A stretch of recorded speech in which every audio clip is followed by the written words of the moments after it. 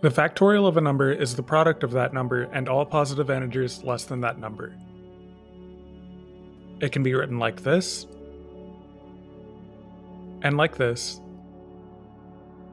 and like this. And the factorial of 0 is 1. You might say, well, that makes no sense at all. And indeed, it doesn't at first glance, because it is more or less just a convenient definition.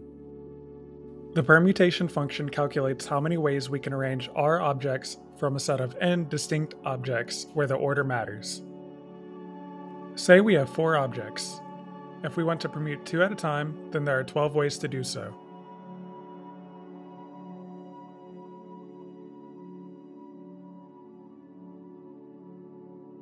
But what if we want to permute all four objects? Setting 0 factorial equal to 1 gives us a total of 24 ways to do so.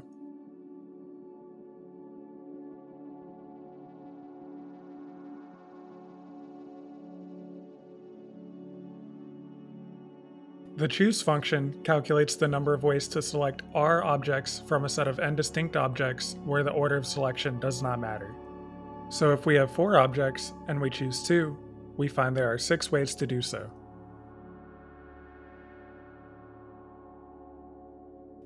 If we choose all four objects, we get a result of 1, and indeed there is only one way to choose all four objects.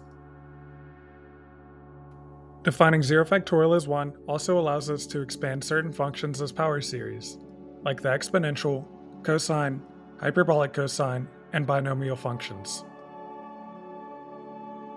Finally, this definition is consistent with the gamma function, which generalizes factorials to non-integer values. To remain continuous, the gamma function must assign the value 1 to 0 factorial. The gamma function is defined by this improper integral. When you plug in a real number for z, it evaluates the area under this curve, which behaves similarly to a factorial.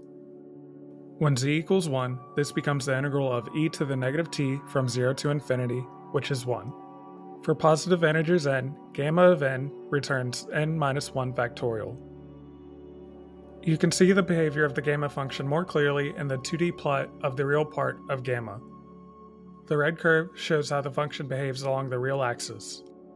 It spikes to infinity at 0, negative 1, negative 2, and so on. To the right of 0, the gamma function grows rapidly, even faster than exponential growth. But it's not just defined for real values. It's actually defined over the entire complex plane, except at certain singularities.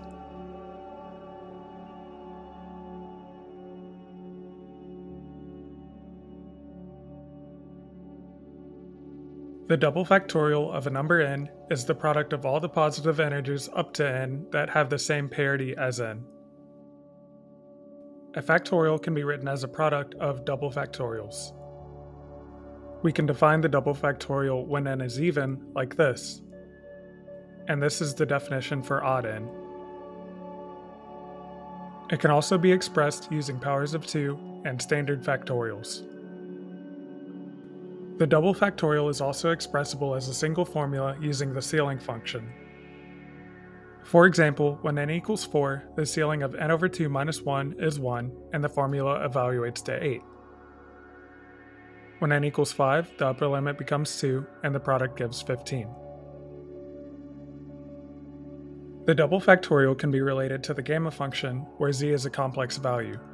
And if we plug in 0 for z, we get that the double factorial of 0 equals the square root of 2 over pi. Some applications of the double factorial include calculating the volume of an n-dimensional ball, evaluating series representations of pi, computing the even moments of a normally distributed random variable, and counting the number of rooted binary trees with labeled leaves.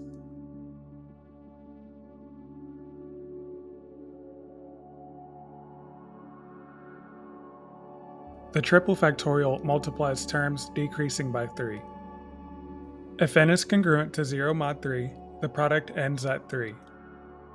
If n is congruent to 1 mod 3, the product ends at 1 and if n is congruent to 2 mod 3, the product ends at 2.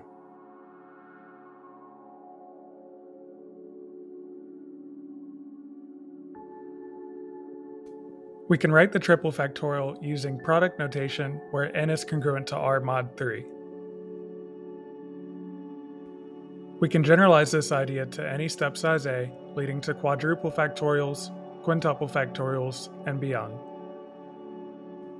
If we let a and n be natural numbers where n is congruent to r mod a, then the a factorial of n is this product from n down to r in steps of a. And this definition can also be written in product form.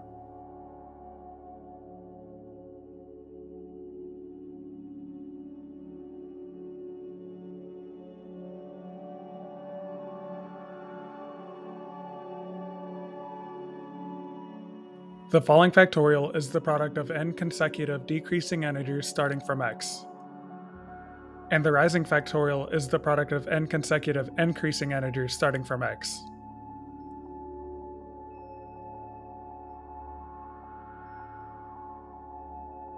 The definition of each can be converted to product form. The falling factorial can be written in terms of the rising factorial and vice versa. Each can also be defined using the gamma function, as well as regular factorials. And in turn, the regular factorial can be written in terms of rising and falling factorials. These factorials show up in many places, such as the differentiation of power functions, factorial moments of probability distributions, and hypergeometric functions.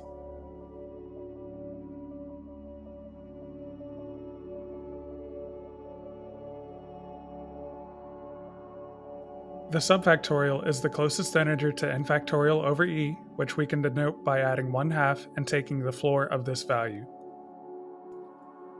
The most common use of the subfactorial is calculating the number of derangements of a set of size n, where a derangement is a permutation of the elements of a set in which no element appears in its original position.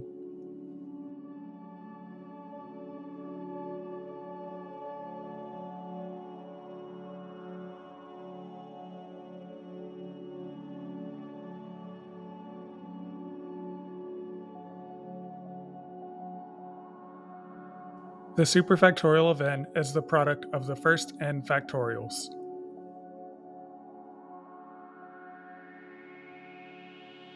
It can also be defined in product form. And it can be defined in terms of exponents as well.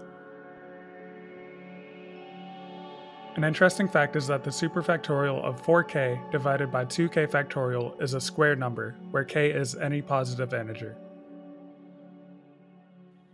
Just like how the regular factorial can be extended to non-integer values using the gamma function, the superfactorial has a smooth extension given by something called the Barnes-G function. The Barnes-G function has both a product representation and an integral representation. For positive integer inputs n, it returns the superfactorial of n minus 2, while for n equals 0 or negative integers, it evaluates to 0.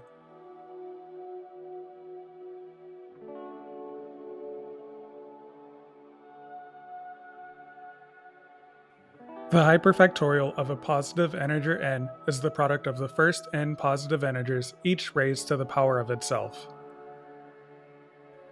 It can also be expressed in product form, and it follows the usual convention that the hyperfactorial of 0 is 1. The hyperfactorial can also be continuously interpolated using the k function, which we see here written in terms of the gamma function. The most common use of hyperfactorials is computing the sequence of discriminants of Hermite polynomials and their probabilistic form.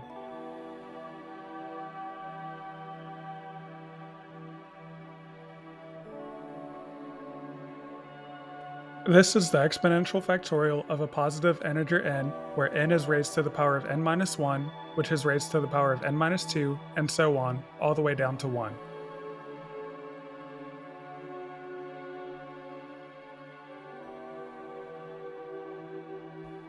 The sequence of exponential factorials is the fastest growing of all the factorials in this video.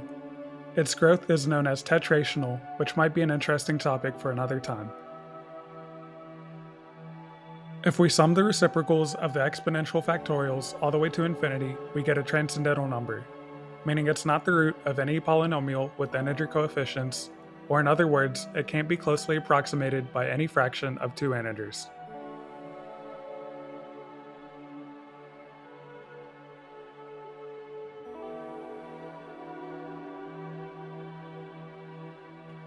The primorial of the nth prime number is the product of the first n prime numbers. The alternating factorial is the absolute value of the alternating sum of the first n factorials of positive integers. The Bhargava factorial essentially tells us how to generalize the factorial function to any subset of the integers.